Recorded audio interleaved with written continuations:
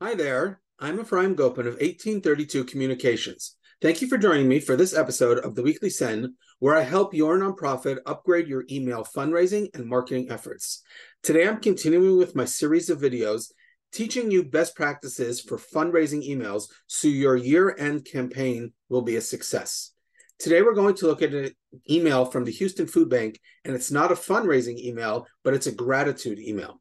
We'll start with the subject line You've made an incredible impact.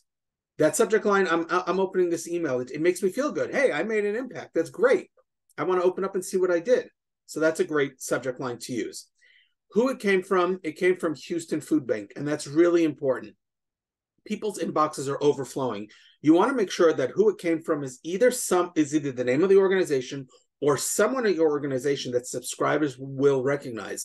And therefore there's more of a chance that they'll open up the email. If it's something they don't recognize, they're going to skip right over it. So the fact that they wrote here Houston Food Bank is important. I know who they are. I've signed up to get their e-news. I may be a donor, volunteer, something else. I'm going to open up this email.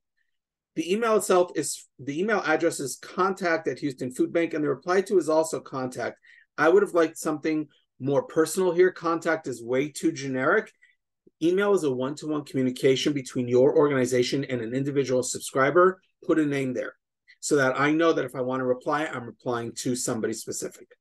Let's take a look at this email. So it opens up with this great image that captures my attention. I'm definitely going to want to read more. And this banner here, thank you for all you do. And they're right away jumping out with the gratitude to start this gratitude email. Dear E, now they only have my first initial, but it's personalized, which is good. So I know that all the other emails they sent people had their first name, and that's great. That's the way it should be. You help provide nutritious food through our programs, food that fuels students' success, nourishes seniors, and provides hope for hardworking families. Right off the bat, I'm feeling good. You help provide. I did that. That's great. You want to share the impact of people. Don't just ask for money in your year end campaigns. You've got to share the impact. Tell them what was done with their donations, with their support. And then Houston Food Bank continues Here's the impact you made possible from July 2022 to June 2023.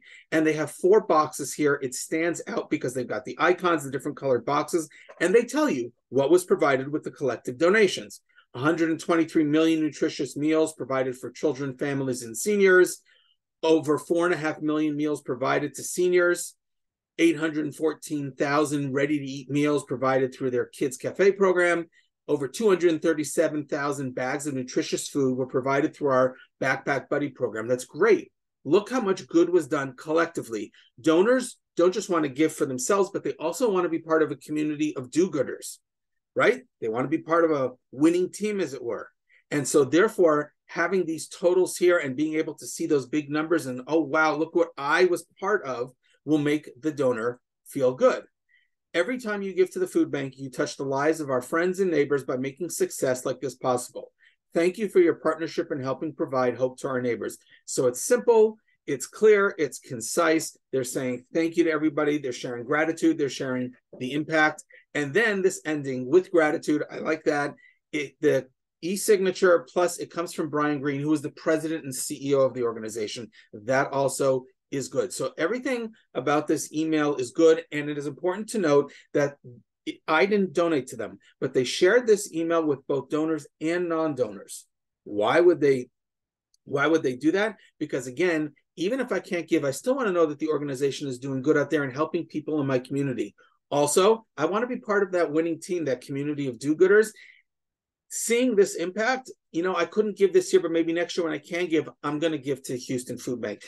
So, although you've already sent a thank you letter for donations to individual donors, whether that's by direct mail, email, telephone, or whatever it is, you should still send out this general gratitude email to everyone so that they know of the impact that's happening. At the bottom here, they have a PS, which there's a two two time impact donation. Uh, so you know, you if you give, it'll be matched. I'm not a fan of this. I'd like gratitude emails to stay a gratitude email and nothing else.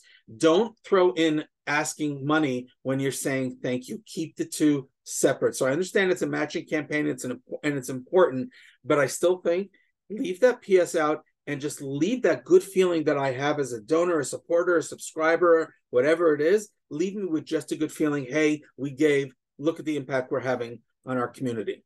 The mobile version is also very good. This image definitely stands out. There's very little in terms of the content and it's well spaced out. These icons in different colored boxes stand out. It's easy for me to skim and scan. This is an excellent mobile version of that email.